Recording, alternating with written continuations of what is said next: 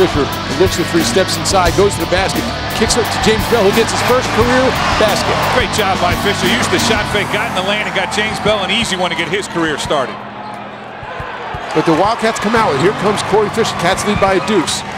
St. Joe's doing a good job in transition, not giving the Wildcats anything easy. Same spot, a three-point attempt by Fisher, up and over Galloway. Pena gets the ball, he face up to Aiken, takes the ball in the basket, dumps inside to Stokes, who lays the ball in the basket. Great pass by Pena. They used that baseline drive, why didn't he space up in the middle of the floor, and Stokes got himself an easy one. Fisher knocks the ball inside to Pena, who makes a nice seven-foot jumper on the left side. Pena now with eight points. Move face up, eight-footer up, no good. Rebound to Cheek, Cheek follow-up, good job. Galloway takes the ball in the lane, shot blocked by Pena. Rebound once again, chased down by Pena, who throws the ball back to Wayns. Wayns to the basket. Three-point on the right side now for Cheek. Up and good. They call it just a deuce. Foot on the line. A great job by Pena to hustle down those long rebounds. Give the Wildcats another shot. Takes a screen from Pena. Goes back, looks like a three-point attempt. Up and good. Corey Fisher. It's a big time Six shot straight right. points.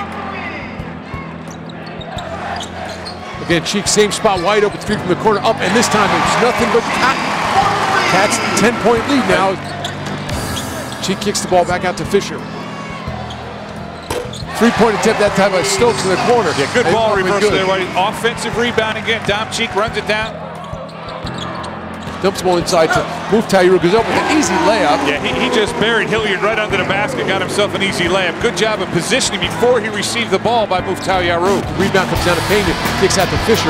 Fisher kind of one-on-one in transition. Kicks a great pass to Wayns, who run it wrong. And here comes the timeout from Phil Martelli.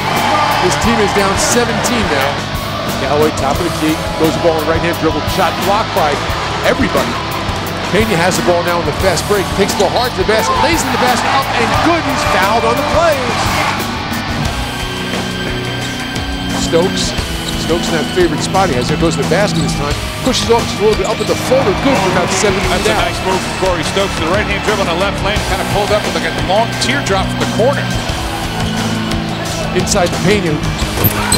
Fakes and goes up and slams that home for an easy dunk. You know, Wildcats up by 20. Over Cheek, wide open three left-hand side, up and good. Dominic Cheek